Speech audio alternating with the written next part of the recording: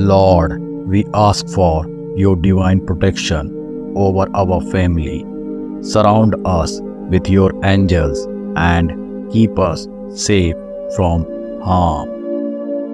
Heavenly Father, we pray that you would build a hedge of protection around our home, shielding us from evil and danger. Lord, we pray for the health and well being of our family. Shield us from sickness and disease and help us maintain a strong and vibrant life.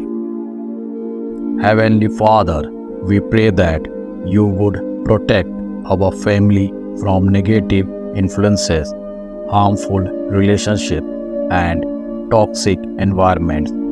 Help us to be discerning and to always choose the path that leads to your light.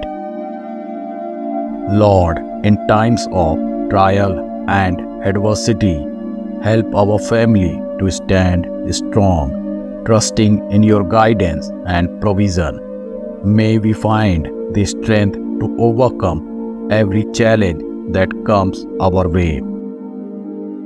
Lord, we pray for your divine protection over our children. Shield them from physical, emotional, and spiritual harm and surround them with your loving presence.